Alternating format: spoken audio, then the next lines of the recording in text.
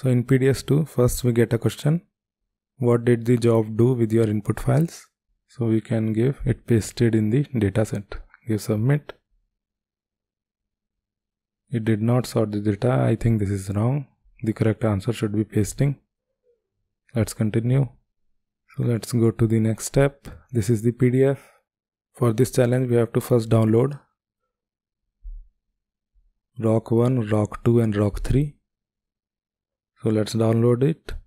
Then we have to complete step 1 to 9 and submit the JCL. So these are the three files Rock 1, Rock 2 and Rock 3. In step 1 we just had to download these three files. In step 2 we have to upload it to the source PDS. So this is the source PDS. Let's right click and upload member. Go to the downloads folder. And here you can see rock 1, 2 and 3. Select all three, press enter and you can see rock 2 and rock 3 is there. Rock 1 is missing so let's upload rock 1.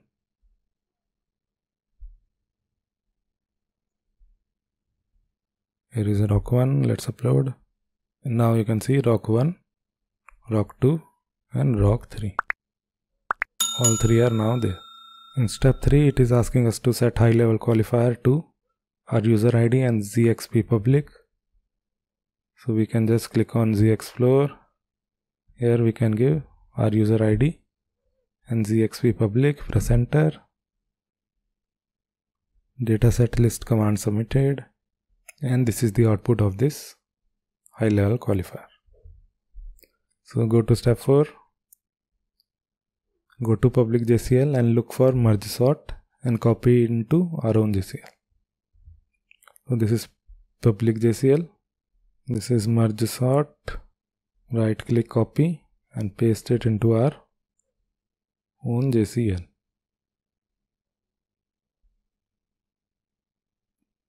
Paste member. Keep the same name and you can see here is merge sort. It is merging rocks 1, 2 and 3 into rocks out. In step 5 it is just giving us more information about the symbolic parameter. Then in step 6 it is asking us to predict the output. We have to go to line 8 and we have to tell what is the name of the output dataset. So this is step number 7 sort out. The output dataset name will be my user id dot output and then there will be a member rocks out.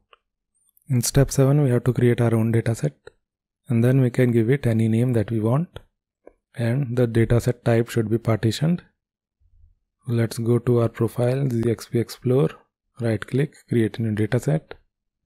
Let's give it a name Z04085 dot new PDS. Press enter, dataset partitioned, allocate dataset. And you can see this is new PDS this is just now allocated. So step 7 is complete. In step 8 we have to run the job called merge sort. So here is merge sort? Right click and submit job. Job submitted 9606 close and expand again. 9606 condition code is 0 so let's go check the output. The output is in the output folder. This is the output folder. Let's expand it. This is rocks out and this is the content of the dataset. It has 101 lines. It just merge all the three files rock 1 2 and 3 together. Then in step 9 we have to rename it to pds2 out. So let's right click rename member pds2 out press enter and it is renamed to pds2 out. Then we have to delete the dataset that we allocated